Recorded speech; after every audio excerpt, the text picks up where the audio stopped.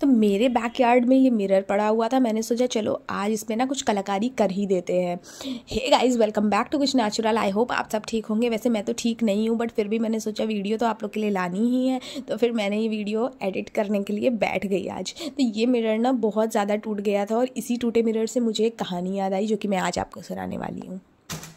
तो there is a art form in Japanese culture जिसको बोलते हैं किन्सुकी तो उस आर्ट फॉर्म में क्या होता है कि जो ब्रोकन ग्लासेस के पीस होते हैं, उनको फेंकने के बजाय हम उन्हें कलेक्ट करते हैं। उन्हें ट्री का ग्लू सैप से हम उनको सबको ज्वाइन करते हैं और ज्वाइन करने के बाद जो उनकी दरारें दिखती हैं, उन ब्रोकन जो फ्रेगमेंट्स होते हैं तो उन लाइन्स को ना हम गोल्ड से कवर कर देते हैं। तो बेसिकली इसका जो मेन मोटिव होता है, वो ये होता है कि जिस डैमेज को हम सब छुपाते हैं, उसको छुपाने की बजाय उसको और हाईलाइट कर दिया जाता है। और आपको पता है, जब हम उसको हाईलाइट कर देते हैं गोल्ड या सिल्वर से तो उसके बाद जो आर्ट पीस बनता है ना, वो अपनी एक्चुअल वैल्यू से भी ज़्यादा वैल्यू का हो जाता है। तो इस आर्ट फॉर्म को किन्सुकी कहते हैं। और ये मुझे इतनी ज़्यादा इंस्पायरिंग लगी कि मतलब वैसे मैं बहुत छोटी थी जब मैंने अपनी जीके वगैरह की बुक में किन्सुकी के बारे में पढ़ा था बट अब मुझे उसका रियल मतलब समझ आया कि ज़रूरी नहीं कि कोई चीज़ अगर टूट जाए तो वो हमेशा ख़राब ही हो या उसे फेंकना ही पड़े। कभी कभी टूटी चीज़ों को अगर हम दोबारा जोड़ते हैं ना तो वो अपनी पिछली वैल्यू से बहुत ज़्यादा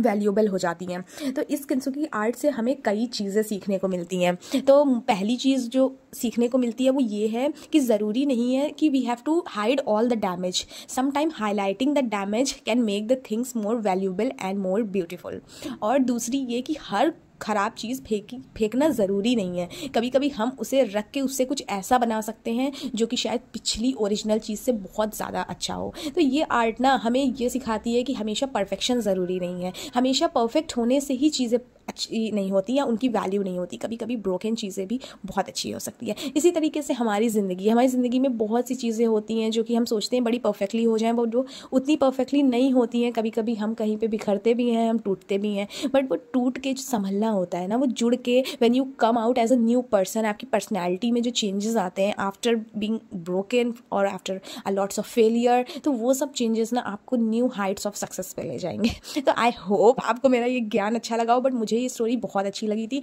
तो सोचा कि उन्हें अपनी यूट्यूब फैमिली के मेंबर से भी शेयर की जाए। और ये टूटे हुए मिरर को देख के ना पहले मैं बहुत सैड हो गई, क्योंकि इसका फ्रेम ऑलरेडी टूट चुका था।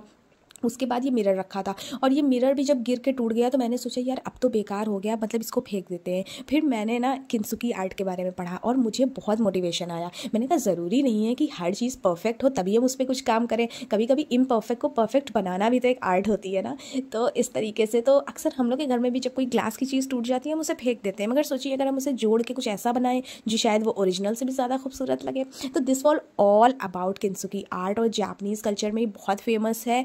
मुझे मुझे भी बहुत ज़्यादा अच्छी लगी। तो बेसिकली मिरर पे आते हैं। मैंने अपने आर्ट वर्क के बारे में तो कुछ नहीं बताया। तो ये मिरर था। मैंने साइड में थोड़ा मोल्डेड क्ले से इसको मतलब कवर कर दिया है कि किसी के लगे ना बहुत ज़्यादा शार्प एंड्स थे। वैसे मोल्डेड क्ले को बहुत अच्छे से मिक्स करना इसका सबसे ज़्यादा इंपॉर्टेंट स्टेप है। मैंने बड़े बड़े यूट्यूबर्स को देखा है कि वो बनाते हैं और उनके आर्ट पीस टूट जाते हैं क्योंकि उन्होंने अच्छे से मिक्स नहीं किया होता है। फिर मैंने अपने और आपका सबका फेवरेट सुपर क्ले यूज़ किया और उससे छोटे छोटे फ्लावर्स बनाए, कुछ बड़े भी बनाए और फिर डबल साइडेड टेप की वजह की हेल्प से मैंने चिपका दिया। आप चाहो तो फेविकॉल से भी चिपका सकते हो बट इससे थोड़ा क्लियरिटी ज़्यादा आती है।